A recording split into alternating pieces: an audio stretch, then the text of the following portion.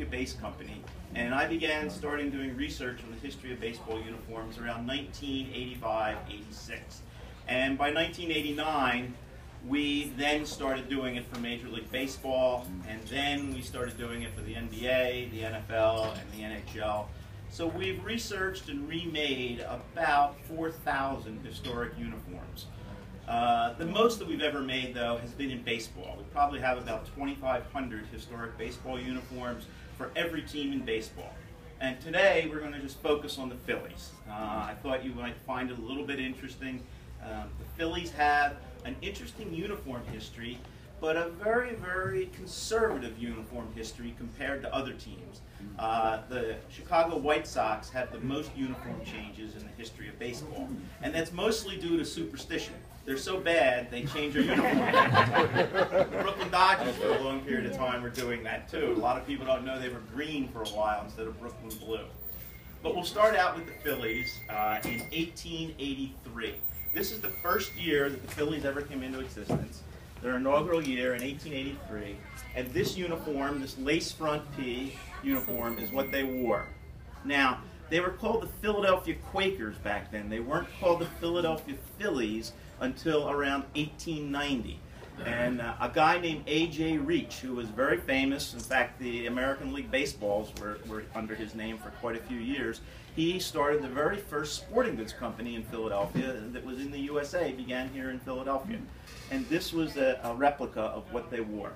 Now, yes, this is wool. I was going, all these shirts are actually wool flannel. I brought one of my limited edition shirts that I make in a heavier wool flannel, and you can pass it around. This is really the weight of what they wore. The wool flannel that I use in all of these jerseys is a wool flannel that's a little more wearable and a little more breathable. If I were to make all of my jerseys in the exact weight that they actually wore in that period, nobody would wear them, nobody would have any, and I wouldn't be standing here. So I, I decided to use a blend of wool flannel that was used in the late 1960s through 1970 to make most of these jerseys. Uh, just as a little historic leeway or uh, segue onto wool flannel. Wool flannel was used all the way through 1971 by the Philadelphia Phillies. All the way until Mike Schmidt came to the Phillies and Steve Carlton came to the Phillies in 1972. If they had come a year earlier, their uniforms would have been wool flannel. So wool flannel stayed a very traditional fabric. And the reason it was used is that unlike cotton, it wicked off the perspiration and it wasn't as, as hot as people thought or as itchy as they thought. So it worked better than cotton. So in our research, we used wool flannels and we used lightweight wool flannels as much as we could so people could actually wear some of the jerseys. So we'll move up here from 1883 into 1900. I don't know if you guys remember the uh, Philadelphia Magazine cover with Hunter Pence on it. He was wearing this 1900, uh, 1899 to 1900 Philadelphia jersey, and they started using the word Philip. Yeah, this is with a, a, a Byron collar, and this is their, their away shirt from that period of time. And they were starting to become Phillies. It's not really known how the name Phillies came about. Some people think A.J. Reach, because of his loyalty to Philly, used Phillies. Other people think that his partner owner, who was a horse lover, used the name Phillies because Phillies, you know, is, a, is a, the, the, name for the, the, horses. And we're really not sure where it came from, but it began to be used around 1899 to 1900. So we'll move up to 1910. And in 1910, by that time, the Phillies were in the Baker Bowl, and the Baker Bowl seats and the stadium were green. So the owner of the Philadelphia Phillies in 1910 decided, wow. let's change the team color to green. And of course, he used this nice style of P, but for one year, one or two years, they were a, a, a style of green just because it was the, the whim of the owner to be. And this is called this is called a sun collar and it was it was worn for many many years just to keep some of the sunburn off their necks while the players are standing around in the infield and outfield getting sunburn. Sun collars were very traditional. Now we'll jump all the way to 1915, And I know there's a lot of Phillies historians here who know exactly what 1915 was about. Well, oh no, I'm going to go back. In night, oh, hello, Maggie. My grandniece is here. There's a few other people. I just want to say hi really Let's go back. this is outside too. All right. In 1910, the Philadelphia Phillies were terrible. But the team that was really good in 1910 and won back-to-back World Series was the Philadelphia Athletics. So we had an American League team and a National League team. One of the things that I like to do, I'm a, I'm a Garmento guy, I like to recreate what was really worn during that period. So I brought, and you don't have to be delicate with this, this is the exact warm-up Oh that the Philadelphia Athletics wore in 1910. This is what the entire team was photographed in.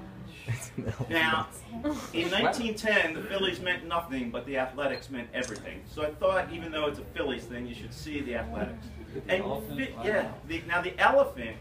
In 1902, John McGraw, who was the owner manager of actually 1903 of the New York Giants, called Connie Mack's team a bunch of white elephants. And Connie Mack said, "I'll show you. We'll make the elephant our logo." So he made the elephant his logo, and he proceeded to win back-to-back World Series, and then and, and also beat him again in the World Series. So this is this is a, a four and a half pound. It's hand knit by my knitter Norma Riker in Anson, Maine, and you can pass it around and feel it. They wore these all during the year. That was their warm up. What we what you now know of today in the modern warm up. This is what they did. So we're going to go and we're going to move to 1915. I have to tell you, the Phillies had some of the most boring uniforms in the world. I mean, these these plain peas lasted forever. And in 1915, the Phillies went to the World Series and lost to the Boston Red Sox. They had a pitcher on that team. What was his name? Babe Ruth. Oh yeah, Babe Ruth. That's right. They had a pitcher on that team named Babe Ruth. But this is the uniform the Phillies wore in 1915 when they lost their first World Series. Now, since I like sweaters, and since I like what was the fashion of the time, this is the sweater that the oh, Phillies wore all during the World Oh Series gosh. in 1915. This is a four pounds of So heavy. heavyweight wool. This is their official sweater. You've seen photos. Photos. Yeah, there's photos. I'm sure your grandfather has photos of the players in this sweater. You can pass it around. It's a heavyweight, That's so heavy. great wool sweater. It's cold enough in the 2008 World Great, Series. great, great piece of items that they wore. I still make these today. I make these for certain people that have to have them. I, I don't want to tell you what the price of the sweater is. I don't want to tell you. So don't ask. Don't ask. Okay. Now we're, we're going to jump from 1915 all the way to 1921. Most people think the Yankees are the only ones that wore pinstripe.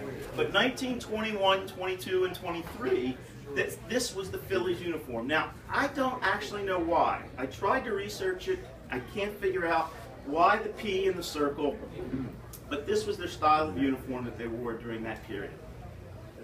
Old wool flannel, little sun collar, round P. Did they start things with the, the home home stripes and, and, and playing away then, or no? Home stripes and plain away was typical going all the way back to the turn of the century. Yeah, everybody was doing that. Was wearing a white or a pinstripe at home and a gray away.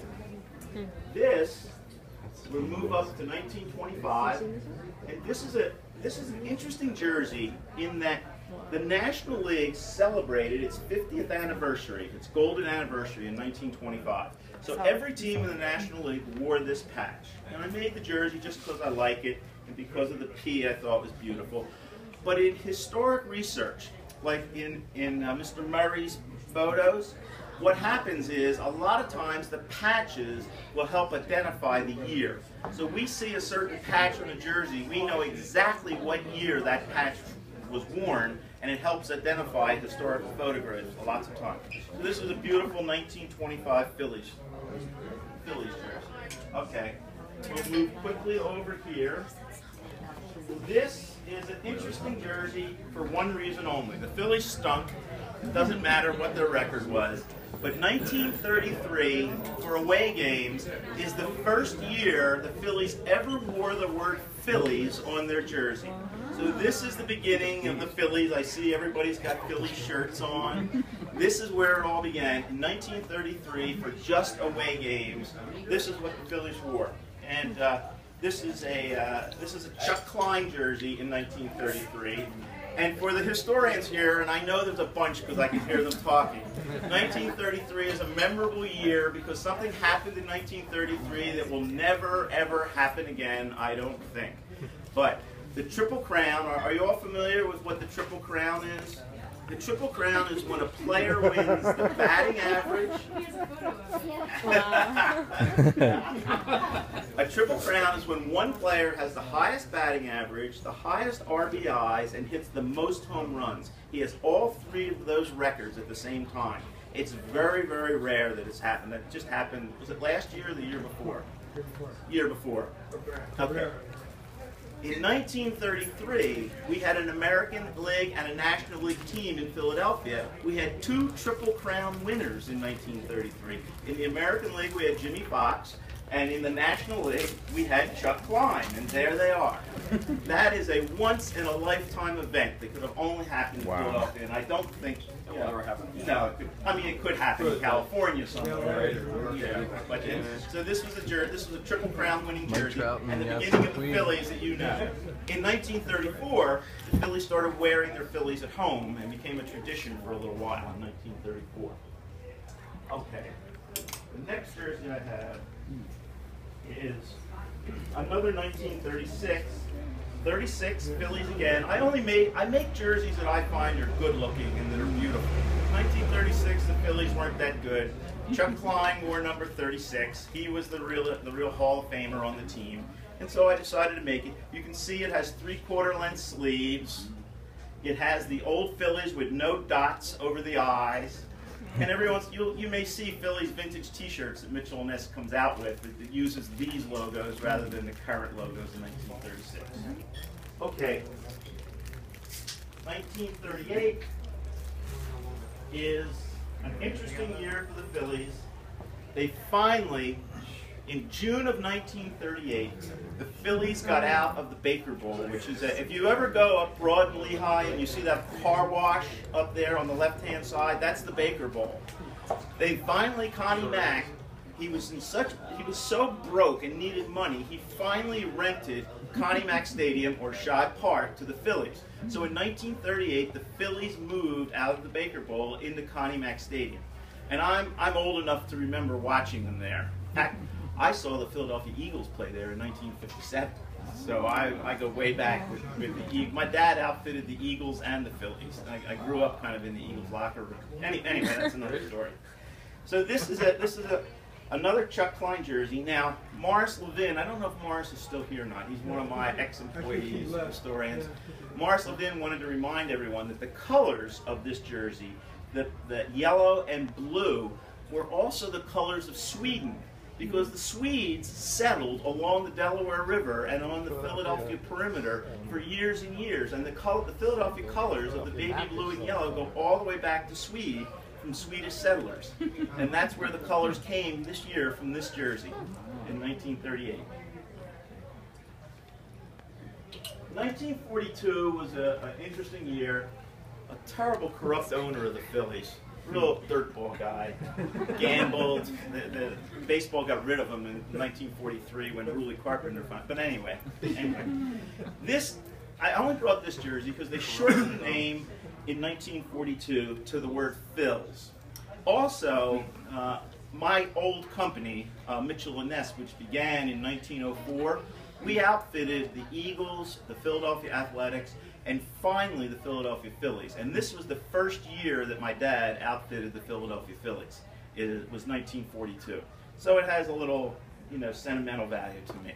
Every team in baseball in 1942 wore this because the health patch represented FDR's uh, plan for health and physical fitness. And in 1942, the health patch was the symbol of that, that FD, FDR was proposing and, and being a champion of. So anytime you see a jersey, lots of times you'll see uh, uniforms and pictures with a health patch. It has to be only 1942. Yeah, no other year.